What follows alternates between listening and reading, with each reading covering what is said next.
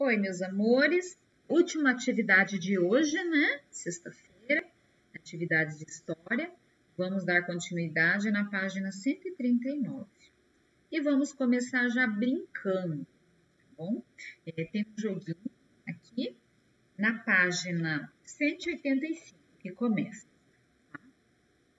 Página 185, 187, tá? As barrinhas de ouro. 189, tá? Aqui já é as especiarias. E 191, tá bom? Olha só, tá? Vocês vão recortar tá? essas cartinhas lá da apostila. É, a brincadeira é mercado de especiarias. A orientação do professor recorte as imagens e as cartas do jogo disponível no material complementar. Convide um colega para brincar. Cada jogador será um mercador de especiarias. Divida igualmente as barras de ouros e as cartas entre cada jogador. O primeiro jogador escolhe uma carta e lê as informações sobre o local de origem e as características da especiaria. Se o outro jogador identificar qual é a especiaria da carta, ele ficará com esta carta. Se não acertar, ele deverá utilizar suas barras de ouro para comprá-la. Ganha quem terminar o jogo com maior valor de especiarias e barras de ouros. Tá bom? Continuando aqui, vamos à início da leitura. O Oceano Tenebroso. Para continuar utilizando o comércio entre a Europa e a Ásia não pagar tantos tributos sobre as mercadorias transportadas pelo mar Mediterrâneo, os europeus começaram a buscar novos caminhos. O caminho que os europeus tinham sobre o mundo na época se restringia às regiões que, a, que compunham a Europa e parte da África e da Ásia, e, os, e aos mares que interligavam esses continentes.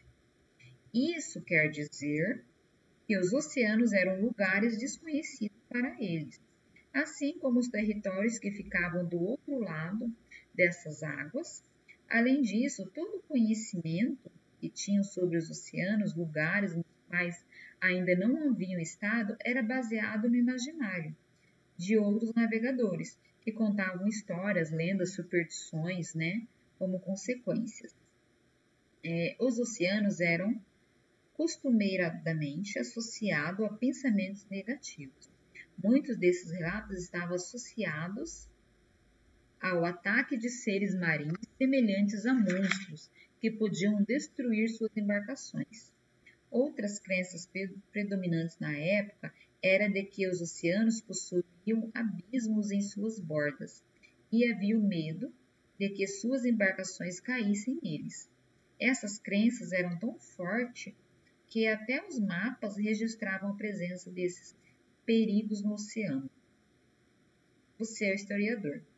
Os mapas antigos são registros históricos que nos ajudam a compreender só quais conhecimentos os povos que os fizeram tinham em relação aos aspectos geográficos do mundo, como também os valores e as crenças que faziam parte da cultura da época. Faça a leitura do mapa a seguir. Olha só o mapa como que era feito. Mapa Universal do Mundo por Sebastian Moenster, 1550. O que é possível identificar no mapa? Territórios, oceanos, embarcações e monstros marinhos. Olha aqui, monstros marinhos, territórios, né? Embarcações, aqui é uma embarcação e outra aqui, certo? E o oceano, né? Isso aqui tudo é água.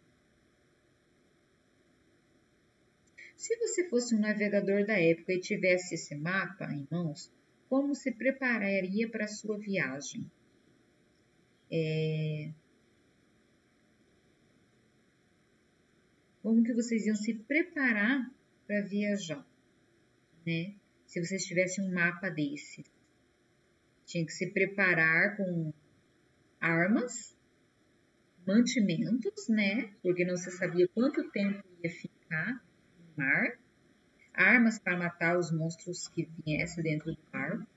E se caso o barco viesse afundar, as embarcações viessem afundar, ter botes, né, para poder escapar. Né?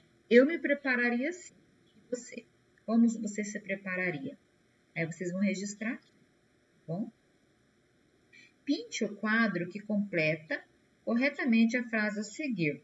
O mapa revela né, que os navegadores da época tinham domínio, medo em relação aos oceanos. Então, o mapa revela que os navegadores da época tinham medo.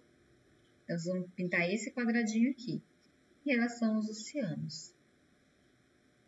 Agora, justifique sua resposta.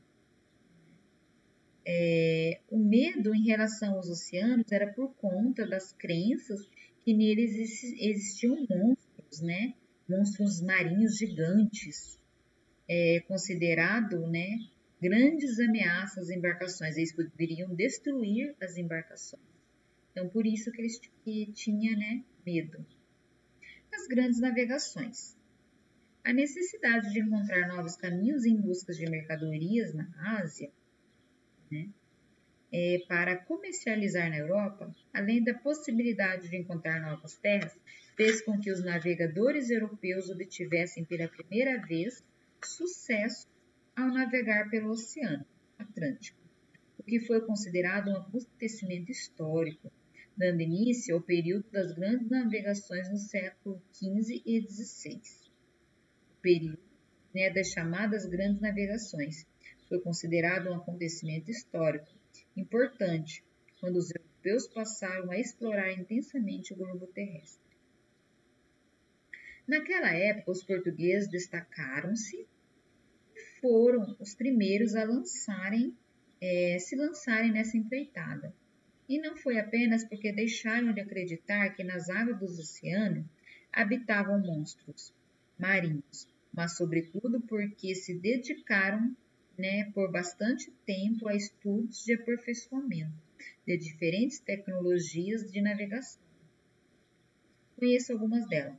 A bússola foi inventada pelos chineses aproximadamente no ano 100 a.C., só começou a ser usada pelos navegadores europeus a partir do ano 1200. Esse instrumento possui uma agulha com imã que sempre aponta para a direção norte, independente da sua posição. O astrolábio é um instrumento de origem árabe que permite saber a localização por medição de altura de uma estrela ou do Sol, posicionado acima do horizonte. Legal. Caravela é um tipo de embarcação com velas triangulares que permitem manobras em alto mar e velas quadradas que eram impulsionadas pelo vento. Essa característica era, era essencial para navegar pelos oceanos e evitar as tão temidas tempestades. Família e escola. Para os navegadores não se perderem em alto mar, eles utilizavam tecnologias de navegação, como a bússola, o astrolábio e o quadrante. O que você quando viaja com sua família de carro para um lugar novo, utiliza algum tipo de tecnologia para não se perder no caminho? Sim. Converse com o adulto de sua família e registre a resposta a seguir. É, nós utilizamos o GPS, né, crianças? Né? Ou outros aplicativos de celular para localização e trajeto do mapa. Certo? Quer saber mais? Sugestão de livro. Marco Polo e sua viagem maravilhosa à China para crianças e jovens. De Janis Herbert, o livro mostra a viagem de Marco Polo ao Oriente, em países como a Turquia, Pérsia, China, Tibete, Indonésia, Sri Lanka e o Império Mongol. Além dos relatos sobre a cultura e riqueza desses diversos lugares pelos quais Marco Polo passou, o livro traz um guia de atividades manuais para ser realizada individualmente ou em grupo. Podem ser feitas tanto em casa quanto na escola. Legal, né? Continuando. que os europeus encontraram depois do oceano. Vamos ver? Fazendo uso das tecnologias de navegação, os portugueses navegaram pelo Oceano Atlântico em busca de especiarias e outras mercadorias em 1487, comandados pelo navegador Bartolomeu Dias. Os portugueses navegaram pela costa do continente africano, ultrapassando pela primeira vez o extremo sul do continente, que o próprio navegador batizou de Cabo das Tormentas, devido às águas agitadas e tempestade que enfrentou ali. Dessa forma, os portugueses conseguiram estabelecer uma nova rota para as Índias, sem ter que navegar pelo mar Mediterrâneo. Ilustração de 1887. As duas caravelas de Bartolomeu Dias, São Cristóvão e São Pantaleão. Ao retornar para Portugal, Bartolomeu Dias relatou o feito ao rei, Dom João II, né, Dom João II, e decidiu mudar o nome do Cabo das Tormentas para Cabo da Boa Esperança. Os espanhóis, por sua vez, financiaram, em 1900, 1492, a expedição de um navegador genovês chamado Cristóvão Colombo, que também buscava o caminho para as Índias. Mas, diferentemente dos portugueses, Colombo propôs navegar no sentido do mar aberto, em direção ao oeste do Oceano Atlântico. Foi o que ele fez.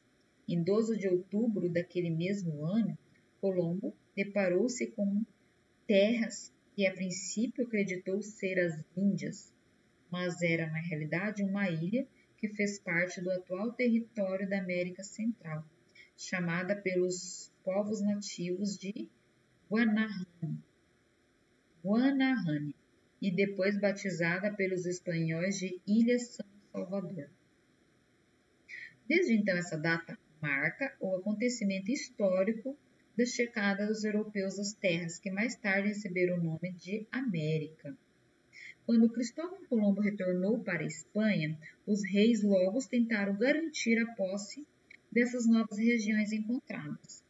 Eles recorreram ao Papa Alexandre VI que publicou um documento chamado Intercaeteira, que estabelecia uma espécie de linha imaginária que dividia tanto as terras descobertas como as que ainda né, por descobrir, e tornar-se posse dos reis da Espanha, mesmo elas sendo habitadas por diferentes povos nativos.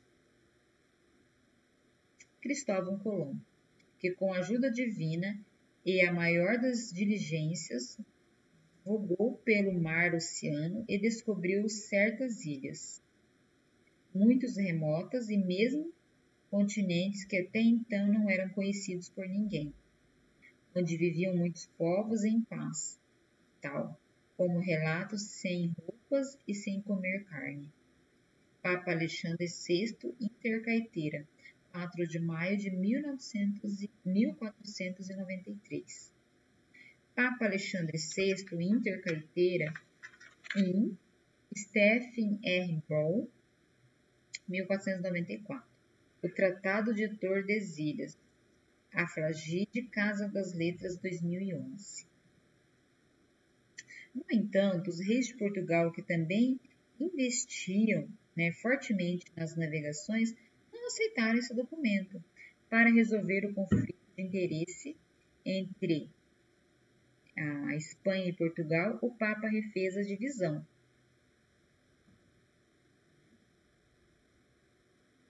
Estabelecendo em 1494 o Tratado de Tordesilhas, que dividiu as terras encontradas por Cristóvão Colombo e as que ainda seriam encontradas né, entre a Espanha e Portugal.